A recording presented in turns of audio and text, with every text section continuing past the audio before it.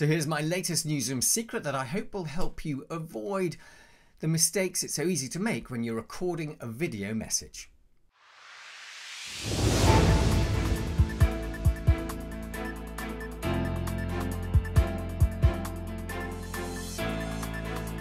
So, what's the common mistake I want to flag up today? Well, it's the length of that video message, and my overriding message to you is less is more.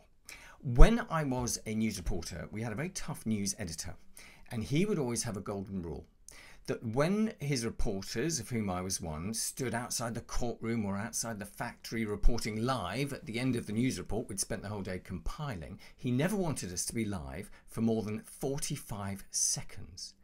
And the broad point he made was John, the pictures aren't very interesting. All they're looking at is you, and the story isn't about you. All they want is one thought, and that's it one piece of analysis, and that's it. And he had a point, didn't he?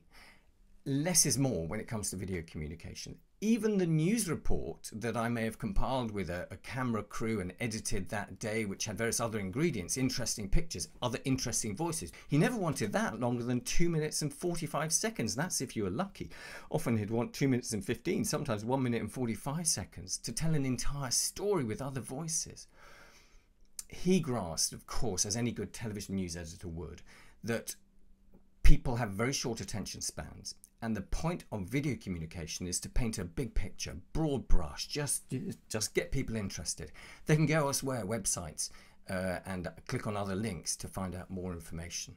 So if you're thinking about doing a video message, perhaps on your website to drum up business or on your intranet to explain something to staff, and you're thinking, hmm, seven, eight, nine minutes perhaps, I'll think again cut it right back, engage them, make them interested, and then they can go off and find links to all the other things you want them to find out more about in detail. But my overriding message, as I said at the beginning, less is more. So let me leave it there.